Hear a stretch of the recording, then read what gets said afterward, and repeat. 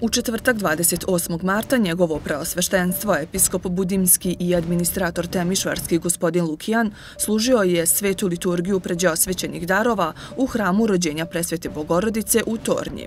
U toku svet liturgije preosvećeni episkop je rukoproizveo protonamesnika Milovana Milina u čin protojereja.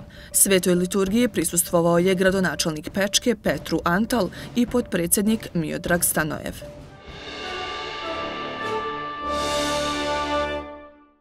Njegovo preosveštenstvo, episkop Raško-Prizrenski gospodin Teodosije, je u sredu 27. marta služio svetu liturgiju pređe osvećenih darova u sabornom hramu svetoga Nikolije u Novom pazaru, uz sasluženje sveštenstva iz oblasti Starog rasa.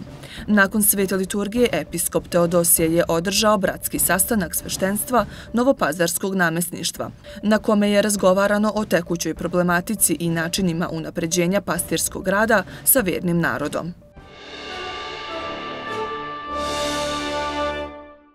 U sredu 27. marta služena je sveta pređosvećena liturgija u hramu Svetoga Save u Flemingtonu, na kojoj je njegovo preosveštenstvo, episkop, australijsko-novozelandski gospodin Siluan, molitveno prisustovao i obratio se vjernom narodu besedom. U danu u kome se navršilo tri i po decenije od zemaljske končine episkopa Šabačko-Valjevskog Jovana Velimirovića, 28. marta u kapeli porodice Velimirović odslužen je molitveni pomen jednom od najistaknutijih arhijereja i stubova Srpske crkve u drugoj polovini 20. veka. Pomenom je načalstvovao njegovo preosveštenstvo episkop Šabački gospodin Jerotej uz sasluženje preosvećenog episkopa Valjevskog gospodina Isihija. Molitveno sećanje na vladiku vladiku Jovana otpočelo je poklonjenjem moštima njegovom slavnom stricu svetom vladici Nikolaju, po uzoru na kog je duhovno stasao, a potom i vodio svoje zavičajce putem Hristovi. Zaista je bio svima otac, sve je voleo, trudio se oko svega. Za vreme njegove episkopske službe u eparhiji Šabačkoj Valjevskoj na desetina, desetine hramova su bili izgrađeni u to teško bogoborno ateističko vreme, kada u drugim eparhijama nije smelo ni da se pomisli da se zidaju hramovi, on je na desetine izgradio i, i takođe je zidao i živu crkvu. Ponovo je pokrenuo i obnovio časopis Glas crkve, koji je pokrenuo njegov slavni prethodnik Vladika Mihajlo Urošević, čiji smo veliki takođe jubilej prošle godine obeležili 90 godina od njegovog upokojenja. On je bio veliki rastom, ali imao i veliko srce. Moj prota u Mačvanskoj Mitrovici, otac Dragiša, mi je pričao da kada ga je poslao na parohiju, davno još tamo 80. godina, u Mačvansku Mitrovicu, tada Mačvanska nije bila parohija, nego je pripadala Savašu Noćajskom. I on nije imao parohijski dom da tamo može da boravi.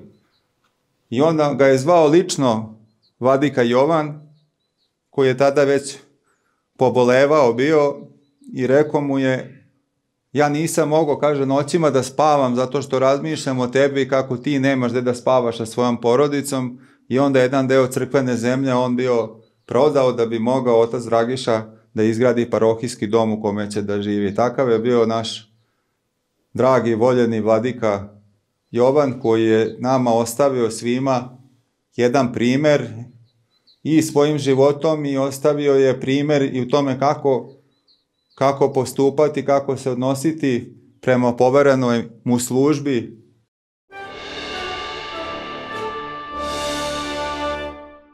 U Kraljevskom dvoru u Beogradu 27. marta održana je projekcija istorijskog dokumentarno-igranog filma 33 anđela o tragičnoj sudbini srpske dece zatočene u nacističkim logorima u Norveškoj, čiji su domaćini bili njihova kraljevska visočanstva, prestolonaslednik Aleksandar i princeza Katarina.